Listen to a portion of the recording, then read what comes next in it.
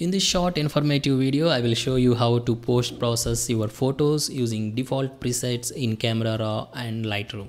Whether you are using a RAW file or JPG, these presets can transform your good photos into stunning ones. Let's start by heading to the preset tab. Now you might think that default presets are just starting points are not what bothering with as you can do everything manually but that's where the magic lies. They offer an instant makeover taking your images from ordinary to extraordinary in an instant. Within the presets, you will find adaptive options for portraits, skies, and subjects.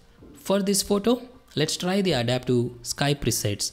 Hover over them to see live previews and select the one that has the potential to elevate your photography. I like the dark drama preset, so I will click on it and apply it. Next, move on to the adaptive subject presets. Here, you can add a bit of vibrance to the main subject or tweak the exposure and warmth to make it unique. What's great is that you can also change the overall color tone of the photo by applying these default presets. They are incredibly versatile, covering various photography styles and occasions from landscapes to portraits and much more. Now your image looks good with just a single click. This time saving aspect lets you dive headfirst into your creative process giving you more room to experiment.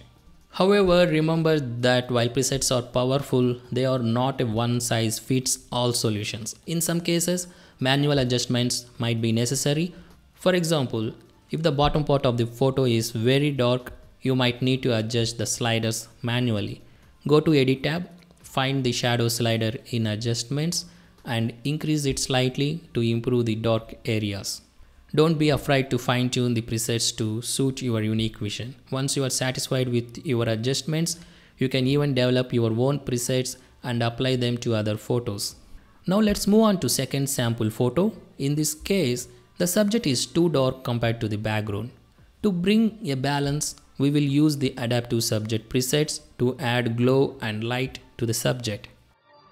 Select the glamour preset and then try the glamour portrait preset from adaptive portrait to add a touch of glamour and sophistication to the portrait. Again head to the edit tab to adjust shadows and blacks to your preference. This allows you to fine tune the photo and achieve the desired look which you are looking for. By utilizing these time saving default presets, you can dive head first into your editing process and have more room to experiment and push the boundaries of your art. Thanks for watching this informative video. If you enjoyed it, please subscribe for more tutorials, tips and tricks. See you guys in my next video. Take care and happy editing.